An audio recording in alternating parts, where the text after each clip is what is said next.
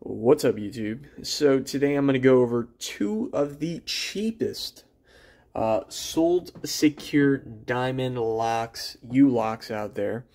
Um, if you watched the first part of my video, right, um, this is rated 19 out of 20 and this is rated 20 out of 20 diamond uh, on the security scale. But most importantly, sold secure diamond, as you can see there. Right, so bicycle diamond. Um, these are pretty much the highest ratings uh, for pretty much, you know, any U-lock out there, right?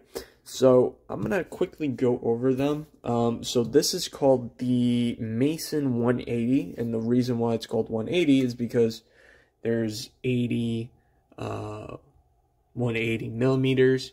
This is called the Mason 220 because, well, there's 220 millimeters there. So, a couple things interesting about this lock. Um, they say it's rust-free, uh, you know, automotive standard cylinder, perfect for e-bikes, hardened steel, anti-drilling, and they say here it's 15.5 millimeters and it's a pentagon shape. Um, they claim that circular shapes on U-locks are prone to easier to cut with angle grinders. So I guess we'll, well, I'm not going to cut them, but uh, let's just take their word for it, which is pretty good considering most U-locks are maybe 10 millimeters. I believe, I don't know, what's the thickness on this one? I forgot. Let's see here. This one is about yeah, about 15 millimeters also. So this one's a hexagon shape. This one is a triangle.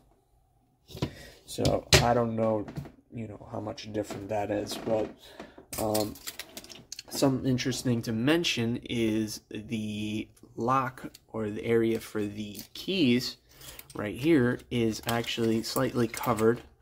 Um, I believe it helps with lock picking, though I don't think a lot of people are going to lock pick these locks. Um, so let's try the one-handed test. Let's see. Let's see. If I can get it back, I'll be back. Get it out. Let's see. One-handed test. There we go. Um, so it's double locked, meaning someone with a bolt cutter is going to have to cut through both sides of these at the very least to kind of get it uh, through. Um, and you could lock it whichever way. So you could push it in this way and lock it back up. So overall, these are pretty light. Um, I mean, this one's, I believe, uh, four pounds. This is like three point something pounds, which is rather light. Um, let me see the the width on this one. So this one width-wise is like maybe one... 120. This one's slightly smaller. At around like 85 millimeters or close to four and a half inches and about three and a quarter inches. So this one does feel a little more premium. It has like a rubber coating on the body compared to this one. Um, again, I don't think these are angle grinder resistant locks, um, though they do say that it is uh, slightly resistant. I think it's just a steel, hardened steel body.